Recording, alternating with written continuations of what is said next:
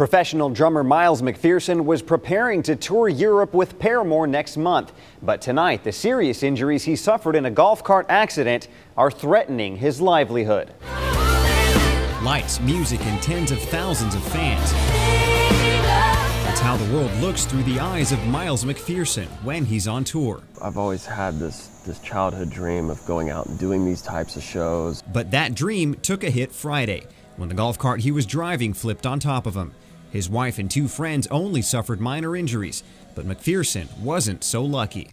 When the, the accident happened, there was uh, battery acid that leaked out onto my hand. So I've got third degree burns across my hand and wrist, and then I also broke my pinky. After a few days at the Vanderbilt Burn Center, he's recovering in his South Nashville home. Doctors told him it's still too soon to tell if the injuries will permanently affect the mobility in his hand.